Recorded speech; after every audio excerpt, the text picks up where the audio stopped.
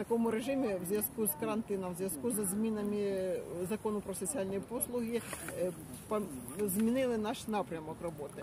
Е, Крім того, що ми обслуговуємо людей на дому, е, є, є у нас відділення натуральної допомоги і е, Є у нас відділення денного цілодобового перебування. Е, Там декілька категорій людей: ті, які, яким потрібно житло, е, харчування, яким відновлення документів потрібно, і ті люди, які домашні, все вони мають, їм е, потрібно організовувати дозвілля. Університет третього покоління у нас працював з 17-го року, але ж в зв'язку з карантинними заходами е, трошки ми втратили спілкування.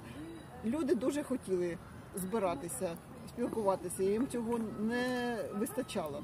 Тому в мене вже давно була ідея е, вивести на свіже повітря людей, щоб вони е, могли хоча б тут збиратися. Просто збиратися якось це недоречно. А ось така ідея з скандинавськими палками. е, Вона втілює в життя моєї мрії. Все складалося дуже так швидко і, е, скажімо так, один за одним е, якісь кроки були. В вересні місяці я е, була на тренінгу по написанню проєктів. Результатом надо, треба було написати якийсь проєкт. І ось родився цей проєкт, зробив перший крок.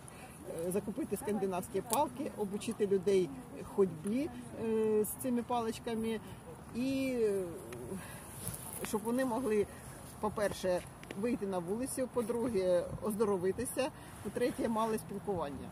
Тому в жовтні нам об'явили, що ми виграли цей грант на 20 тисяч гривень. Ми закупили палки. і От з- з 10 листопада ми вже працюємо з групами. У нас е, є декілька груп на районах міста на 40 років.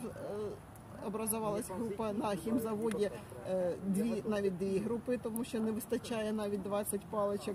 Люди приходять і хочуть займатися. І